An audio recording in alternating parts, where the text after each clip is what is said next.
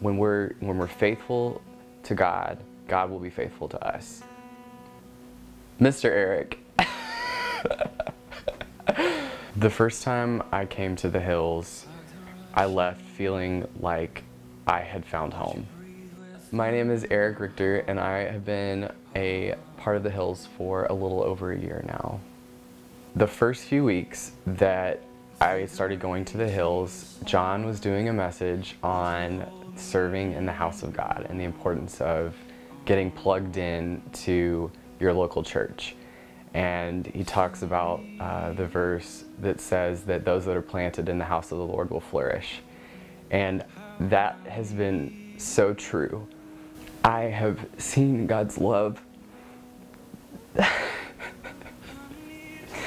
so much in my life, just the blessings and everything just from being planted. And you when you go and serve you're obviously sacrificing your giving. Like giving and serving are so tied together because they're the same thing. It all comes down to obedience and faithfulness. And when you're obedient and faithful that's when God is able to bless you. But not only bless you he's able to use you to bless other people. I feel like I have been shown more and taught more from the children that I teach than I could ever teach them.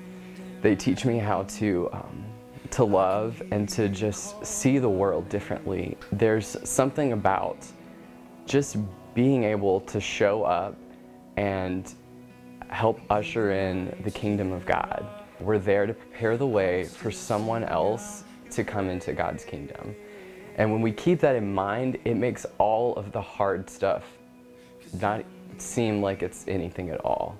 Um, and I've had time after time where a parent will tell me about how their child was singing a song that we were teaching them in class, or they're evangelizing their preschool, or they're reading their Bible to their stuffed animals and telling them that God loves them.